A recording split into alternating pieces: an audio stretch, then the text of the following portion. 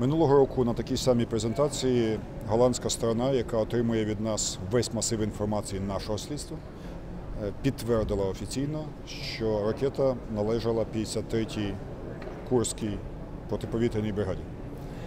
Сьогодні міжнародна слідча група зробила ще один дуже серйозний крок уперед. Вона оголосила підозри і оголосила міжнародний розшук чотирьох осіб, які конкретно причетні до атаки на цивільний літак.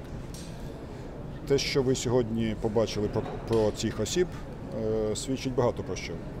Це е, російські офіцери ФСБ та Головного управління розвідки Збройних сил Російської Федерації, а також польовий командир е, сепаратистів, які виконував їхні вказівки і є громадянином України.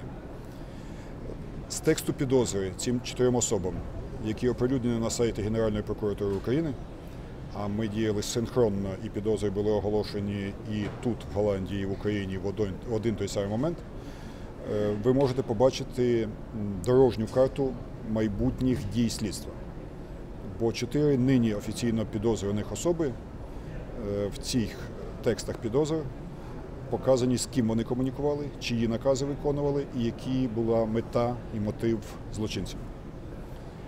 Також сьогодні оприлюднених розмов між підозрюваними стає зрозумілим, що йдеться про е, те, що наступними підозрюваними будуть особи від солдатів, полковників, генералів до вищого політичного та військового керівництва Російської Федерації.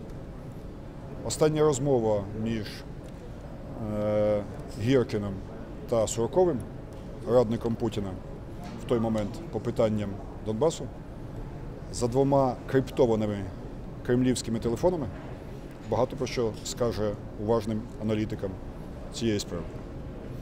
На ваше запитання. Леонід Харченко, що це за людина, що про нього відомо? Леонід Харченко є громадянином України, він не військовий, але став так званим польовим командиром так званої ДНР і виконував особисті вказівки трьох інших підозрюваних у цій справі. А які дії української сторони зараз? Ви будете його в розшук е, допитувати? Є якась інформація про його місце знаходження? Ще раз повторю, що сьогодні синхронно і тут, в Голландії, і у нас в Україні були оголошені підозри всім чотирьом особам, в тому числі і громадянину України Харченко. Відтак він знаходиться в розшуку, і в разі, якщо він буде затриманий, він буде арештованим за рішенням українського суду і через відеосеанс буде давати покази до е, голландського суду.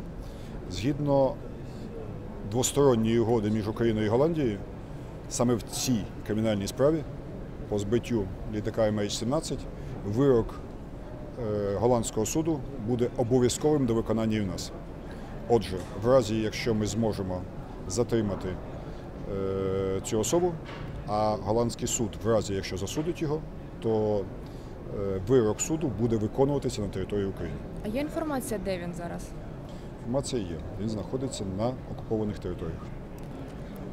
А, Також сьогодні було оголошено, що дуже багато інформації від операторів мобільного зв'язку використовується в розслідуванні. Як багато в Генеральної прокуратури України інформації від операторів зв'язку, е, листування, телефонних е, розмов приватних громадян, е, звичайних громадян України, де е, ця інформація зберігається, і що Генеральна прокуратура з цією інформацією робить? В цій справі українські правоохоронці допитали 259 осіб, а також ми проаналізували 5,5 мільйона сторінок, мільярда, перепрошую, мільярда сторінок різної it інформації. Із них близько е, 700 мільйонів сторінок є корисними для нашого слідства. Весь цей масив нашої титанічної роботи ми передаємо в рамках е, угоди до спільної слідчої групи нашим голландським колегам.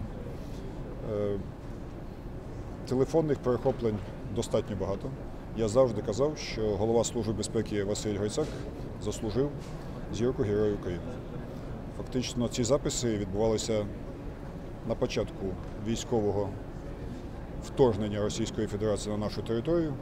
І сьогодні, через багато років, ви бачите, як корисні вони для засудження злочинців в цьому та в інших конкретних кримінальних проваджень.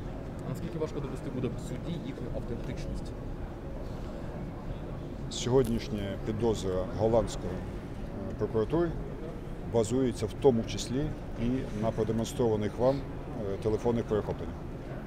Ще раз хотів би сказати, в тому числі на криптованих кремлівських телефонах, які наша служба безпеки України сьогодні продемонструвала здатність відкривати.